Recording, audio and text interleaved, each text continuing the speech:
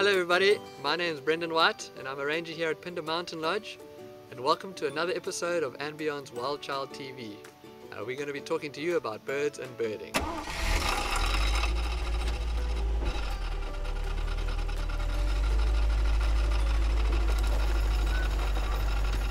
On the last episode we spoke about how to look for birds and where to look for birds. So this week we're going to be talking about how to attract birds to your garden. One of the best ways to attract birds to your garden is with a bird feeder. And today I'm going to be showing you how you could build your own bird feeder using recycled materials step by step. The main objective of this is to obviously attract birds to your garden but it's also to recycle um, any rubbish you might have so rather than going out to go buy materials to build this, see if you can't find anything at home that you could use. And it doesn't matter if it looks different to mine. Um, I'm sure everyone's will look a little bit different, but that's part of the fun. So the first thing we're going to do is we're going to take our used plastic bottle and we're going to mark off the points where we're going to be making our holes. Um, and this is basically where the birds are going to come in and get the seed from the feeder.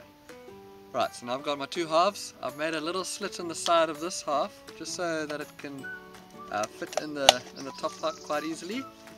And you push it all the way down and there we go we're almost there. Next step now that we've got our feeder which is coming along nicely we're going to attach a little plate to the bottom just so the birds have something to sit on when they're feeding. I'm going to use a bit of glue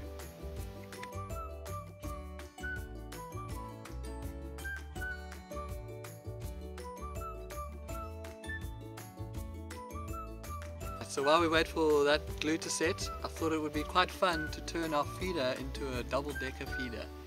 Um, so what I was thinking is I was going to take another plate and use it as the roof. And what we can do is I found an old screw, we can maybe stick it through the bottom and that way we could have an apple or some kind of fruit stuck on the top so you can have different kinds of birds coming to feed. So next step we've taken our lid and we've made two little holes at the top and then two little holes at the top of the feeder and then all we need to do for the last final phase is to put some rope through there and then that's how we're going to hang it. So there we go, I've added the, the rope, the finishing touch and now it's complete. All we need to do is put some food in there and then see what comes to feed. We filled up some seed, put our apple on top.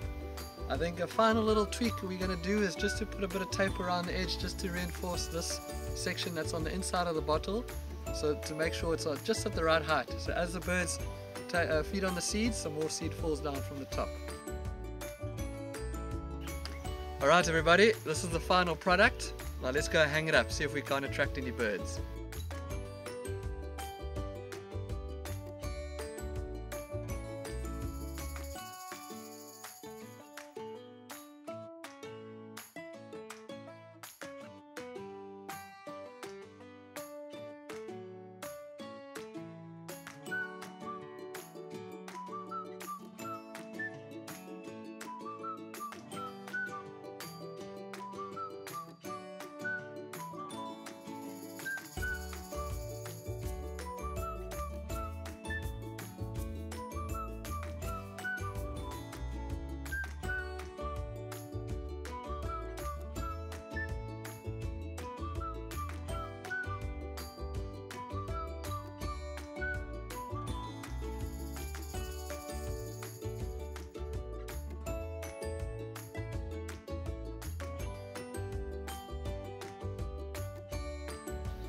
So when you hang up your feeder, these are some of the important things to consider.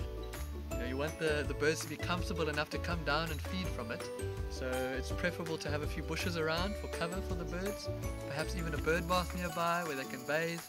Um, you also want the feeder to be in the, in the shade um, and preferably off the ground.